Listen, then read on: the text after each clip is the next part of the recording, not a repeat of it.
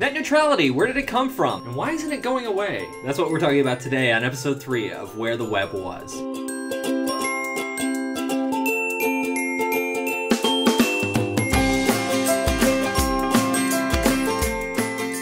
Neutrality is the principle that all data that travels across the internet should be treated equally by governments and internet service providers. This means that your internet service provider can't choose what content they deliver and at what speed. That means if you want to stream music, watch a movie, browse Facebook, or find other people on the internet who have been attacked by geese while trying to walk into a Kohl's, I am totally serious. This is not a made up problem. Your internet company shouldn't slow this down just for their own profit. And this has happened before. In 2005, Madison River Communications, which is an internet service provider and phone company, did just that. The FCC ordered them to stop blocking VoIP telephone service because it competed directly with their phone service. But where does this idea of network neutrality come from? The phrase was first coined by law professor Tim Wu in 2003, but the idea of treating everything on a network neutrally predates that by like a lot. The precedent of net neutrality actually comes from who many people consider to be the worst president in American history. No, no, I'm talking about James Buchanan. In 1860, he signed the Pacific Telegraph Act into law. Be it enacted by the Senate and House of Representatives of the United States of America. All right, enough of that. On the surface, of course, that bill had absolutely nothing to do with network neutrality. The real purpose of the bill was to build a telegraph line all the way out to California. At the time, that was an epic feat. But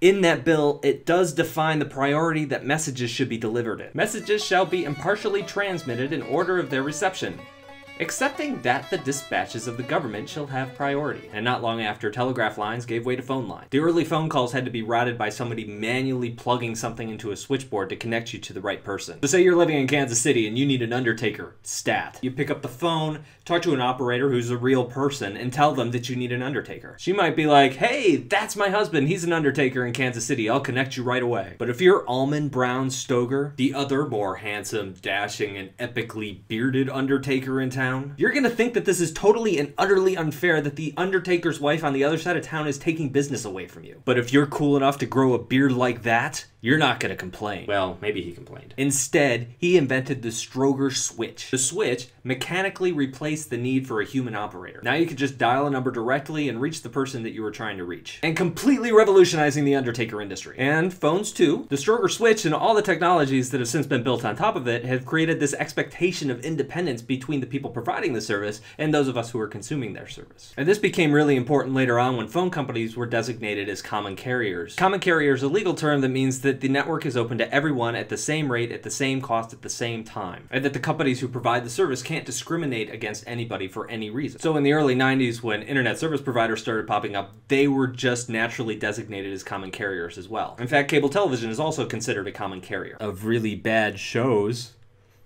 Get it? But this all started to change. In 2002, the FCC changed the designation of cable internet service providers from a common carrier to an information service. They followed suit in 2005 by doing the same thing with DSL. And by May of 2006, the US Senate decided to update the Communications Act. During the updating of this act, they were also going to be addressing things like net neutrality for the first time. Yep, and it was during these talks that Alaska Senator Ted Stevens said the internet was nothing but a series of tubes. Tubes? This isn't plumbing. The internet's not a toilet. Well, not literally a toilet. So what's happened since 2006? Oh my gosh, so much. Let's see. The uh, FCC told Comcast to stop blocking BitTorrent, and the courts told the FCC no. So the FCC ends up creating the Open Internet Order, and that ends up going to court, where the court said no. And it's basically gone back and forth like this several times. Seriously, the only thing the FCC has managed to do successfully in the last decade is ban Janet Jackson from the Super Bowl. So I'm gonna stop here. This is a history lesson, not a current events story. And that's the end. Thanks again for watching. If you enjoyed it, please uh, share it with a friend, and don't forget to subscribe.